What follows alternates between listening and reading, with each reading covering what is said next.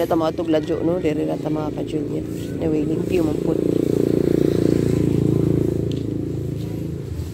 sa ilang kwan diri ni sabaw din ha Kabo de utang ka. May sinigang na bangos sir, tsaka nilagang baboy.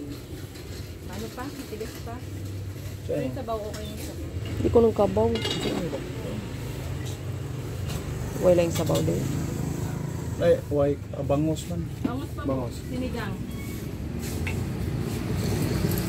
Kasi nga.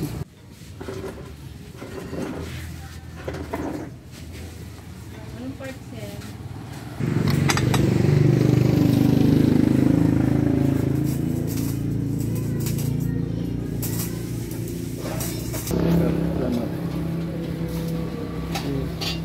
Sapaw-sapaw, ang mayroon ng ano sa ilang kuwan.